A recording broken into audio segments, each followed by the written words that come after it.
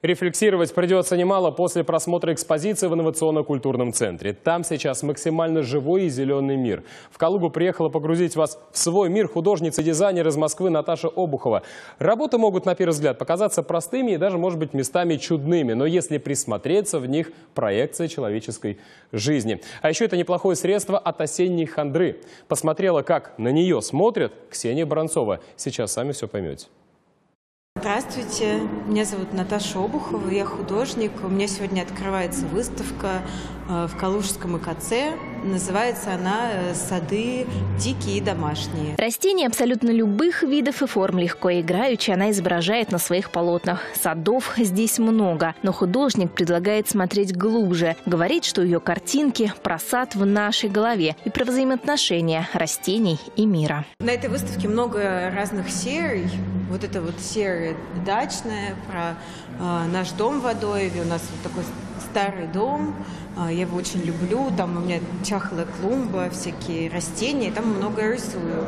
Э, здесь есть еще э, всякие истории про ну, вот таких, вот такого типа много картинок. Здесь висит одна, а так вот у меня есть любимый кувшин э, в виде хмурой кошки, и там э, букеты все выглядят очень красиво, я их все время рисую. Главная серия выставки – живые растения. Вы наблюдаете за ними, а они – за вами. Исключительно с глазами. И цветы, представленные в инсталляции «Сиротские растения». Все это некогда одинокие и забытые чахлики из подъездов, поликлиник, будок вахтеров. А те, которые ухоженные и красивые, на время принесли сотрудники ИКЦ. Наши сотрудники прониклись этой идеей и принесли ей из своих кабинетов, а, из своих домов. Здесь есть пара горшочков маленьких, крошечных из моей квартиры. Я принесла их на время.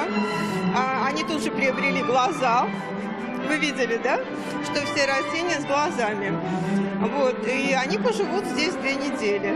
Потом все разберут Да, обратно. да. А сиротские, те, которые куплены специально для выставки, мы их усыновим, они будут у нас расти, мы их выходим. Программу открытия выстроили на контрасте. Игривая живопись и музыка барокко на фоне. Тех, кто придет позже, тоже ждет музыкальное сопровождение. Звуки живой природы вперемешку с электронной музыкой. Саунд-дизайн написали специально для полного погружения. Очень яркие, незабываемые работы. Разные все, очень классные впечатления. Просто вот ярчайшие. Все очень красиво.